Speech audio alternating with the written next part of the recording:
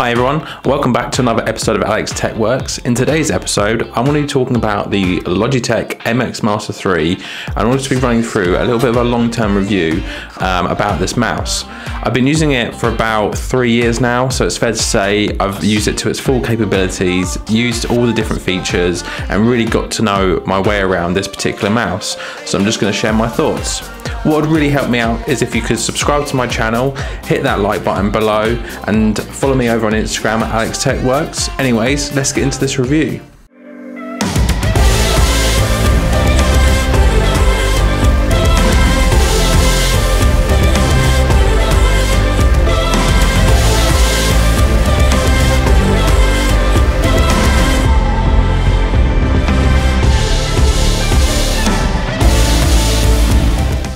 Right, let's kick things off with the form factor of the Logitech MX Master 3.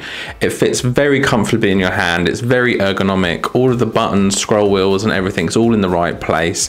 If you're looking to use a mouse for hours and hours on end, I'd highly recommend going for something like this. Its design and aesthetics are also, I mean, just look at it, it is immaculate. The build quality is exceptional. It's got a premium feel, but it also is sturdy and elegant.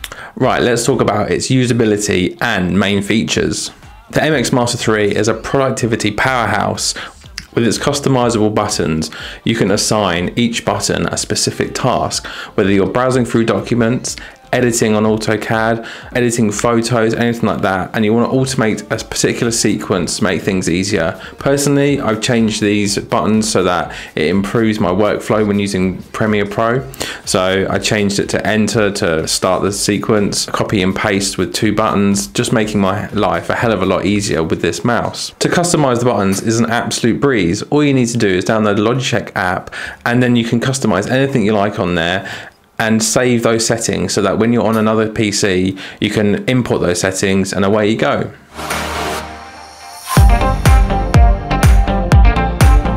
I briefly touched on the software, but I'd like to go into it with a bit more detail. The Logitech Options software takes the MX Master 3 to another level. You can fine tune the mouse performance, adjusting sensitivity and creating custom profiles with different applications.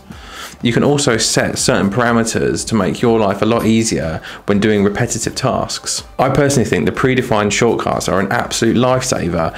You can just flick between applications with just the touch of a button. One of the features that I use quite frequently is the flow feature that's available on the Logitech Options app. It means if you're using multiple PCs, you can flick between them, copy items across with just using the mouse itself. It's like having a magic wand for your digital workspace.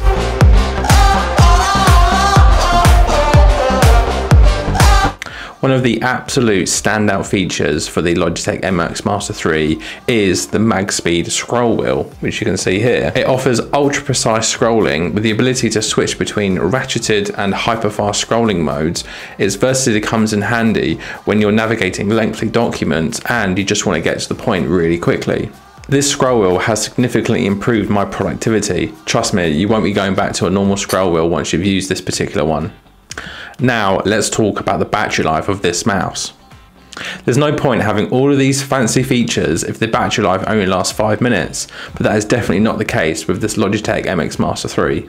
The MX Master 3 comes with a USB-C charging port, which is most welcome for all modern users. And when it comes to the battery life itself, this particular mouse will last for seven days of eight hours use on each of those days. Now think about that, that's two months of full use without having to charge it. And even if you do need to charge it, you can plug it in, boost it up, and it will last you a couple of hours. So there's no worry about having to charge this every single day. I think it's fair to say that the battery of this Logitech MX Master 3 is something that doesn't need to be worried about.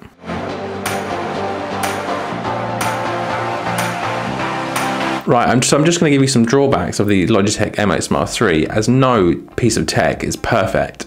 I mentioned previously that the ergonomics behind this mouse is perfect, but this is particularly important if you have small hands. Now, this might be too large for some, but for most people, this will be perfect. Additionally, the price point of this is on the expensive side, but I think all of the features, benefits, productivity increases outweighs that additional cost. Plus, you are going for a premium item that's worth investing in. Also, some users have had problems with connectivity and being able to connect to multiple devices. Now, personally, I've never had an issue, but it's just something worth mentioning. Now, it's all very well and good having all of these fancy features, but what's it like using it in real world conditions? Now I've used this mouse with engineering design, video editing, photo editing, almost everything. And it's fair to say that the comfort levels, additional features, flicking between different programs and the infinite scroll wheel has been an absolute godsend. Its customizable options has also really helped me out between different applications and speeding up my workflow. Personally, I think this is the mouse to go for. Whether you're a creative professional or multitasking guru, this mouse has got your back. In conclusion, the Logitech MX Master 3 is not just a mouse, it's a professional partner that's more than welcome on my desk. So, would I recommend the Logitech MX Master 3? Absolutely. This is a game changer of a mouse and it's certainly improved my productivity and workflow. There are a few minor drawbacks, but the features and benefits certainly outweigh those. This tool enhances your productivity and comfort. So if you're spending hours behind the screen, this is definitely something to consider. If you're looking to cop one of these Logitech MX Master 3 mouse, I'll leave a link down in the description below. Right, so that's it from me today. I really hope you enjoyed this long-term review of the Logitech MX Master 3. If you have any thoughts, leave them down in the comment section below what would also really help me out is if you smash that subscribe button, hit that like button, and also catch me a follow over on Instagram. It's all under Alex Tech Works. But that's it for me today, and I hope I see you in the next one. Catch you later.